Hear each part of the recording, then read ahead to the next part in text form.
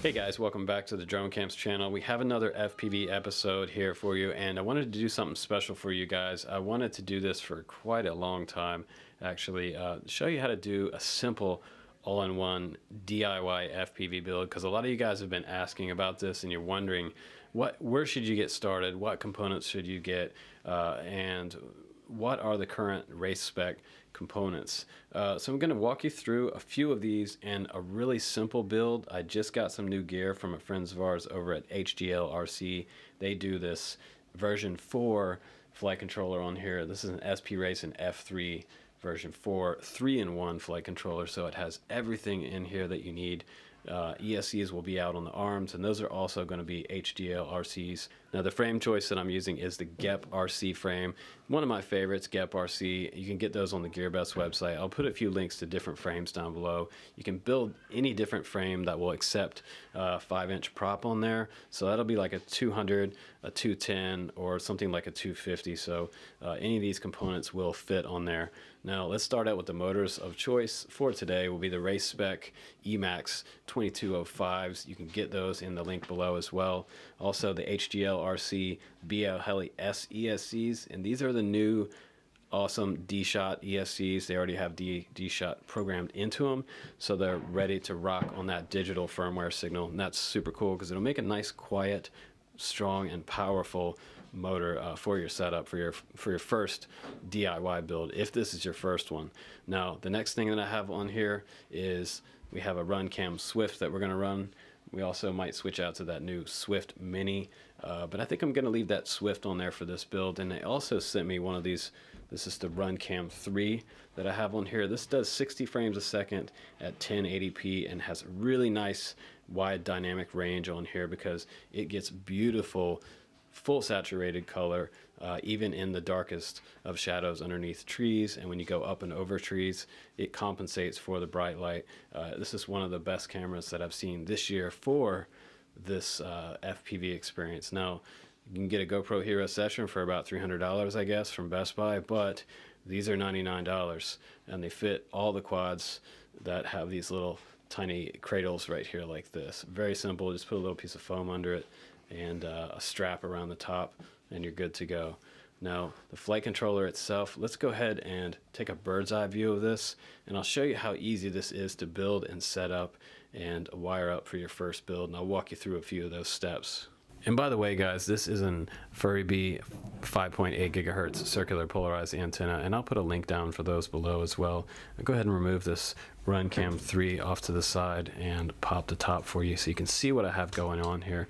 The antenna has a little cable that comes right off the flight board, and this plugs in right here on the flight board. So very, very simple to pop that on and off. Now I'll set this to the side and we'll zoom in just a little closer so you can see this board up close and personal. Now the first thing you're gonna do is you're gonna solder up your ESC wires straight to the negative terminals here. There's four of them right here. There's one big pad. You're gonna put each negative terminal coming off each ESC and I have them just like this running from each motor motor number one two three and four and then you're going to take your positive wire and go to this other pad over here. Now you can do this on the top or the bottom of this flight controller. It doesn't matter but I decided to put them underneath because they'll be right underneath there and look a little cleaner on top when I flip this over and show you guys now over here you have your USB connector for Betaflight that's already flashed in there and you have a PWM port right here or you can run PPM or S-Bus as well. So I'm going to run S-Bus.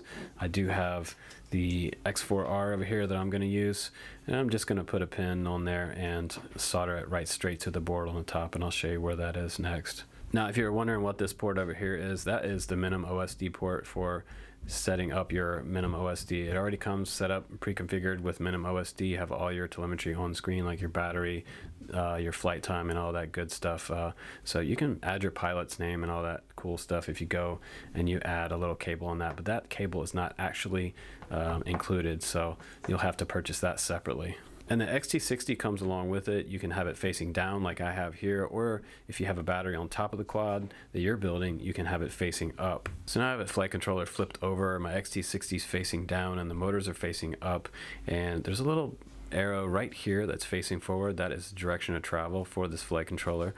Uh, if you're set up to 000, inside the configuration in Betaflight. And that's normally how it's set up, so don't worry about that too much. Just make sure that arrow is facing forward uh, on your first build. Now, if I move this a little bit closer, let's bring it up to the screen here and get it to focus. Uh, I'm going to show you a few different things here. Now, notice that you also have terminals on the very top here. I decided, I started out doing them up here, and then I decided to take them off, mainly because I didn't want the wires running over top of this for my build. I want it to be nice and clean, so I ran them underneath. Um, um, and there's pads on both sides so they give you that option and that's really cool. Uh, also on the top of this board you have the world's tiniest boot button right here. You can just barely feel this with your fingernail when you push it down. It's even smaller than some of the other ones I've seen so far this year. Here's your VTX plug right here that plugs into the wire that will go up to your antenna from the bottom of this uh, quad setup. One of the things that I love the most about these boards, these all-in-one flight controllers, is the fact that I don't have to solder my camera wires through to my VTX anymore and the VTX is built in right here. So all I have to do is solder on my camera wires right there ground 5 volt and camera wire straight out and it plugs into my camera and that's a really simple setup and that eliminates having to add all that. Uh, back in the early days we also had to solder on an, a MinimOSD module onto uh, quite a bit of different connectors on here so it really simplifies things that OSD is built into this as well so it saves you a lot of time. Now the receiver that I'm going to use for this build is the FrSky X4R. If you have a Taranis you can use this one. It has a great full range on here. You can go way across. Uh, I've flown in cornfields out in Minnesota and it goes way out there with this particular receiver. So if you want a nice full range receiver these are awesome.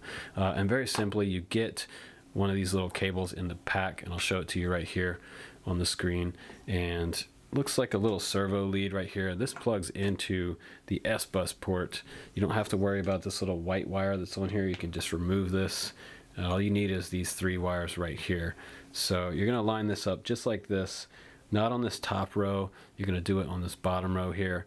Uh, you're gonna have S-bus first which will be that yellow wire and then you'll have your 5 volt it's red and then you'll have your ground wire as third. And so you can snip this piece off right here. When you snip this off you're going to solder it to these three connection points right here. Over on this bottom side right here at the very bottom you'll see ground and then 5 volt and for the yellow wire which is your signal wire now the next thing you'll need to do after you've soldered on your ESC wires, you'll need to hook up your signal wires and they are labeled on here. They say one, one, two, three, four on here. Uh, and those will be corresponding to your motors in Betaflight. It'll be set up exactly like that. Um, so if this is facing this way, this will be one, this will be two, this will be three, and this will be four. Now also another tip with this board, do not solder on this buzzer before you solder on this signal wire because for some reason the signal wire tab is underneath where this is going to go down on top of. Uh, I made the mistake of soldering this on because I got really excited that I had a buzzer sitting there and then I realized where is the number three motor tab for the signal wire so be careful about that do that first and then do the buzzer afterwards and you'll be good to go. Now when you solder up your motor wires, do those as short as you can here for this particular build on this GEP. Uh, this is the Chimp 180, so I just did my motor wires as short as possible here. And it's nice that they gave you heat shrink with these, nice clear heat shrink, and I'm gonna heat shrink those up uh, once I get the build ready and finished uh, before I power it on for the first time. I'm going to make sure I use my smoke stopper as well, and I'll show you that here in just a second. Before we do any kind of um, plugging in on the bench, after you do your build, it's very important to use your smoke stopper, and that plugs right into the end of your, your uh, battery terminal there and uh, is between your battery and your build in case you have any shorts in here. That is a lifesaver. And this build is pretty much finished, you guys. All I have to do now is solder on my receiver right here and plug in my antenna and just plug in my camera. I don't have to do barely any more soldering except for my receiver. So I'll hold this wire up until it's the right way. And this just snaps on. You just push this down on top of that port and it should snap right on there. You'll hear like a little click and it's on there. You can spin that a little bit and face it any way you need to face it uh, so that you can put your top on. And my camera's right here, and I can plug that in back here. Make sure your pins line up when you plug it in so you don't bend your pins. And so next I will solder on my receiver right here and then I can start putting bolts on it. Okay guys, so like I showed you, I went ahead and soldered up my receiver wires here, the uh, S-bus, uh, the 5 volt, and the ground wire over here on the right hand side of that flight controller, and it really was easy to build. I did use my smoke stopper just in case when I plugged in the battery to make sure that all my solder connections were perfect uh, and I didn't have any shorts. If you have a short, you'll see a puff of white smoke come out of that flight controller uh, or one of your ESCs or possibly your motors. So be very careful when you're making your solder connections that you don't touch solder from one tab to the other. Uh, and pay close attention. If you need to use some kind of a magnifying glass, it's always um, definitely something I recommend for these smaller builds. Now, it was a pretty simple build to do, and this is one of the reasons why I did this video was so that you guys could see how simple some of these all-in-one flight controllers are nowadays. Uh, OSD is really awesome here. I have my battery voltage right here, 15.1 volts, and I have my current amp draw right here. I'm not hooked up to my uh, radio right now, so it's only showing 0.6. Now it has my milliamps that are being consumed, and over here on the right hand side, very far right, it shows me by battery time, the time that the quad's been plugged in. And up here at the very top left, you have which mode you're in, and right now it's just default set to acro, so this is uh, going to be awesome. It's ready to take out to the field now and do a little racing, and I did it on the cheap, so it wasn't like super expensive to build this um, all-in-one setup here. And it turned out pretty sweet. I really like the way this looks. And this is another unibody X frame for this four millimeter 3K carbon fiber uh, GEP RC frame. Pretty sweet. So next thing I'll do is uh, bind it up with my radio and set it up in Betaflight and I'll put my receiver up inside here. But I wanted you guys to see how much room is actually inside here after that single stack and having the ESCs out on the arms like that. Instead of using a 4-in-1, it would have made it a little higher, and it would have come pretty close to the way this piece of carbon swings around here. But since I only had a single stack with that all-in-one VTX, I don't have any VTX hanging off the back here or zip tied up here like we used to do. So now I'm pretty much ready to rock. I can put a piece of foam underneath my new Runcam 3 and uh, go out and start doing some flying. So thanks again for watching, you guys. I will see you on the next one. Bye-bye.